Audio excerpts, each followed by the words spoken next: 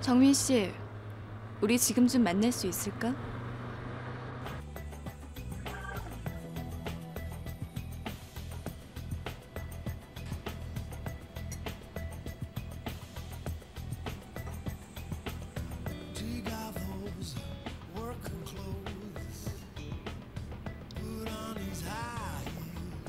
어떻게 할 거야 앞으로? 뭘? 지은이 말이야.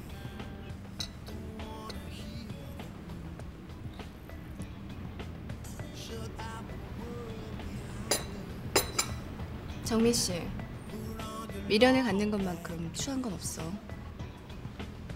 근데 말이야, 미련이 없는 사랑은 없는 법이거든. 다만 그 감정을 숨길 뿐이지. 내가 제일로 싫어하는 말이 뭔지 알아? 사랑하기 때문에 헤어진다는 말. 사랑하기 때문에 헤어진다는 말은 약자의 변명일 뿐이거든. 사랑한다면 그 사람 앞에서 울고 매달려. 그리고 처참하게 짓밟혀. 껍질을 벗어야만 사랑을 차지할 수 있는 거야. 자신이 없어서 이진이란 여자의 행복 때문에 내가 그만두려는 것 같아?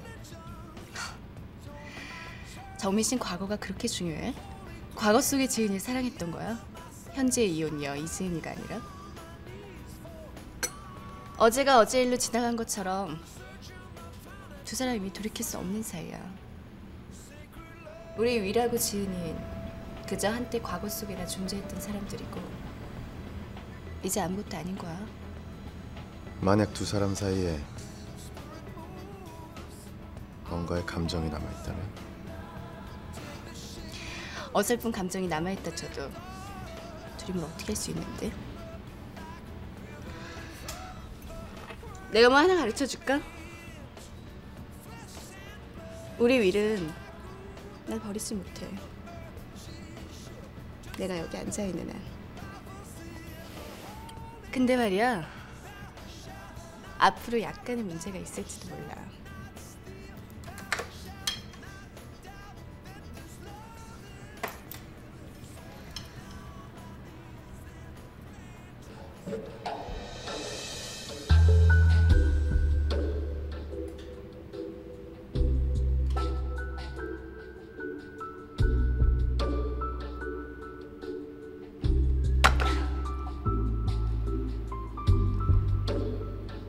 정미 씨 말곤 그 누구도 모르거든.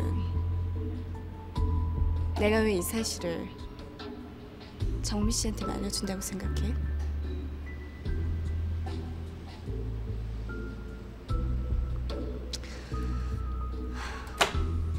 이제 알겠어? 내가 걷게 된다면 우리 위라고 지은이는 어떻게 나올까? 사람의 감정이라는 거 순간적인 거거든. 특히 사랑했던 사람이 기억이 남아있는 사람들은 한순간에 변할 수가 있지. 어떤 계기가 된다면 손바닥처럼 뒤집을 수 있다고. 서정미 씨, 정신 바짝 차리세요. 물론 내 다리에 감각이 돌아온 건 더할 나위 없이 기쁜 일이지만 분명한 건 그로 인해서 내 사랑도 정민 씨 사랑도 위태로워졌다는 거야. 그 사실을 각인시켜 주려고 나한테 고맙다는 생각 안 들어? 네가 보통이 아닌 건 예전부터 알고 있었지만 이젠 좀 무섭다는 생각까지 든다.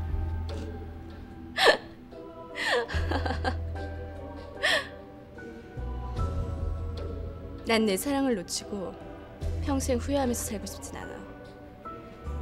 단 하루를 살더라도 내가 행복해야 되는 거 아닐까? 사랑한다면 용서받지 못할 게 없는 거 아니야. 괜한 자존심 부려서 원하는 거 놓치지 마. 알지? 비밀이란 관계를 돈독하게 만든다는 거. 돈독한 관계?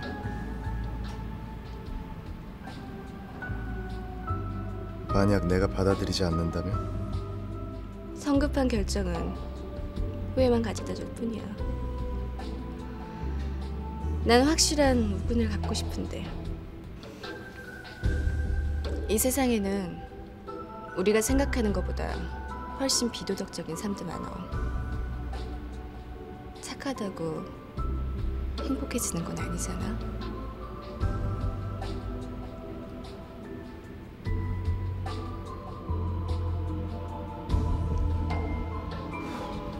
이만 가봐야겠다.